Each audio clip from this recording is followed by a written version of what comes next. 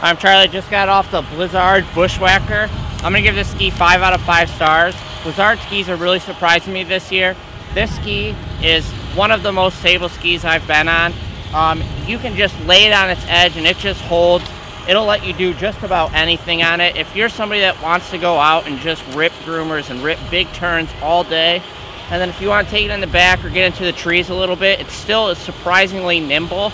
Um, I just can't say enough about what Blizzard's doing right now, and this is a great ski.